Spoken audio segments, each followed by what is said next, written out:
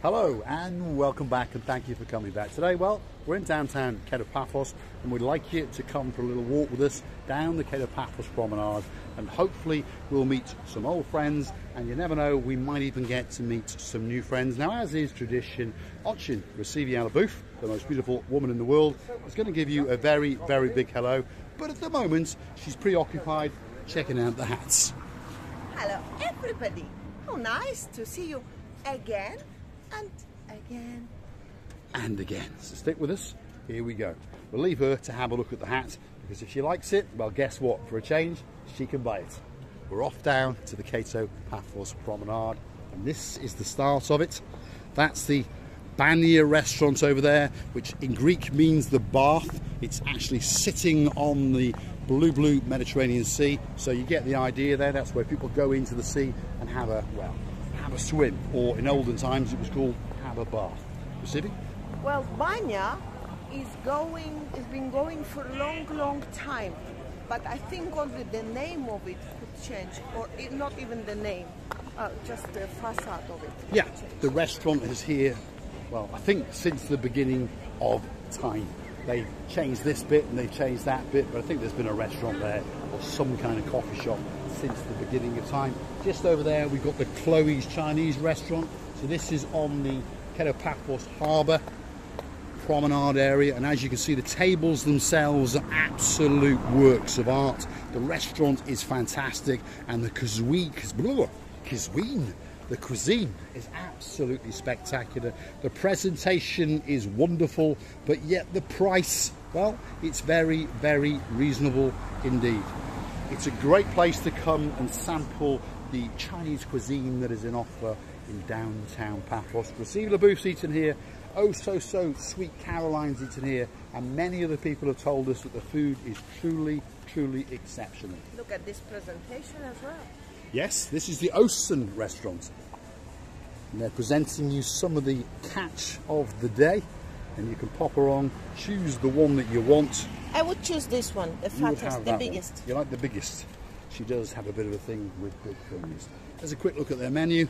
They do a very nice steak in here. I've had the Irish steak, I've had the spare ribs, and I had the giant pork chop, whatever that kilos, Well, oh, luckily we do do quite a lot of walking around, and we do keep quite active. So I am a little bit plump, but I'm not actually that much overweight. You see Villa Booth? Well, she's absolutely perfect. Every day she checks those scales, and she comes back with the magic that she weighs less than little sparrow. Wow. I would like to say uh, one thing, which is very important, by the way. Why this road is still open? Well, I think traditionally now what's happened is the summer season has ended and we're going into autumn. So in their great wisdom, they open this boulevard, this road. Now, this road comes through the promenade. In the summer season, they close it and around about three o'clock and keep it closed all night.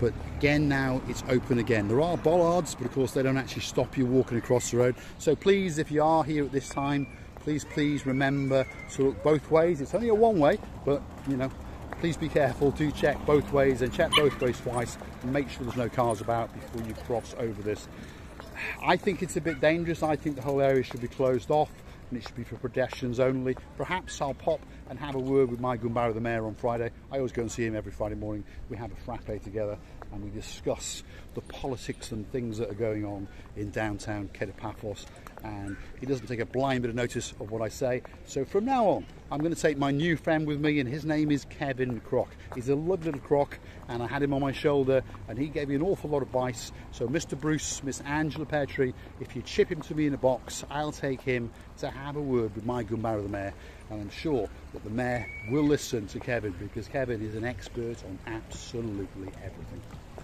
And I hope now as you're talking about uh, Angela and Bruce, you said, Petrie.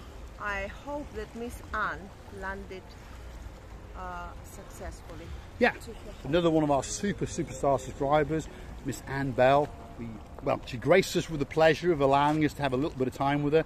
We met her three times. She accosted us off camera. We accosted her off camera, and then she returned the favour by accosting us again absolutely lovely lady, all the way from the wonderful place called Hartlepool.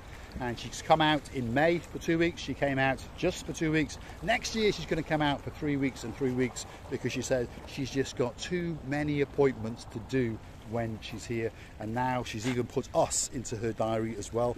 Miss Anne, we are truly, truly humbled and we look forward to seeing you very, very soon. And if there's somewhere that you want us to go, drop it in the comments and we will. Miss Anne, honestly, for you, we would go anywhere you tell us. We really, really fall in love with you and thank you for the company that you provide to us. Right, let's keep going down the Kato Paphos Promenade and show you some of the businesses to give you a bearing of perhaps where you might be. Just over there, that's the Ideal Snack Bar. That's the Aphrodite Secrets. That's a traditional product shop that sells chewy bars. It sells Cypriot Delight, olive oils, and that kind of stuff. Then you've got a more traditional gift shop selling t-shirts which are branded, beachwear, sunglasses and belts. And then you've got a cafe over there. That's known as the B.A. Bacchus Bar. Yes, as in reference to Mr. T, Mr. Jeremy, and Mr. Simon. And I ain't going on no aeroplaning, so stop that gibber jabbering. That's the place over there. Very busy. It's quite early in the evening, but it's going to get absolutely packed out, that is for sure. Right at the very back on the middle aisle there, the man in the white top with the reddish apron around him, that is Mr. Victor, and he's the man in charge. Superstar beyond superstars, speaks perfect English, and he has a Mancunian wife. So remember, he speaks with a bit of a Mancunian twang. Receiving? And there is one diamond, no, not diamond shop, next to your friend, I'd never noticed it. Ores. I'd never noticed. I've never No, noticed that not. shop at all. I never, never, never.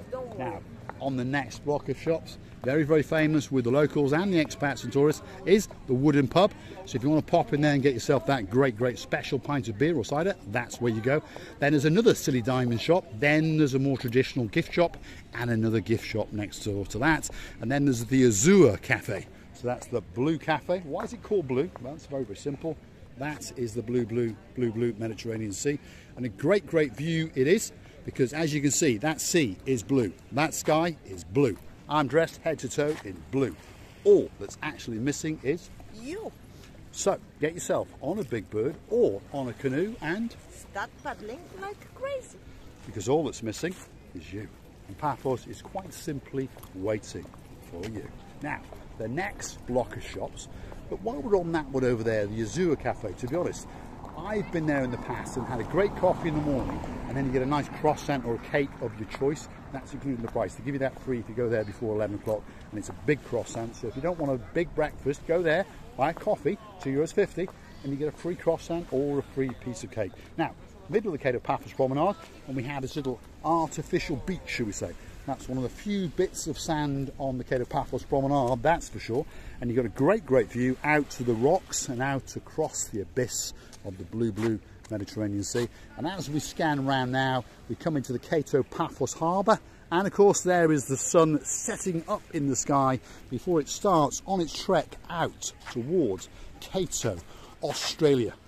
But don't worry, it's coming back first thing in the morning. At about 6.30, it'll be back and it'll bake us yet again. You see me? Have you ever been swimming in this side? No, we've not actually. Perhaps we should get into our bikinis. Yes, I've got one. And go and have a little dip. What do you from think? this side. But this is will happen, you know, when we're gonna eat a lot, we have to drink a lot, and then straight away from that restaurant, straight to the sea, jump and have a swim. Chill out.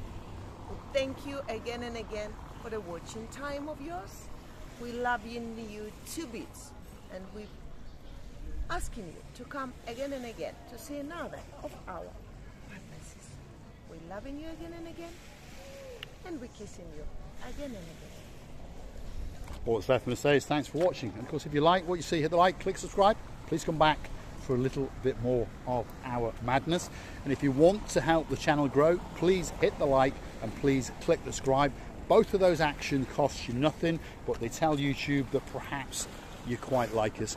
If you want to help the channel grow that little bit further and see us go on adventures, perhaps you could go to our About page and consider buying us a coffee. It's a very, very simple thing to do. Receiving. Thank you again and again, and many kisses from me and Mr.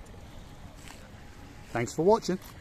So that's the sun glistening across the sky overhead as it beams down onto the Paphos harbour, a place that is absolute paradise. And we truly, truly thank you for watching and we'll see you again very, very soon. Thank you.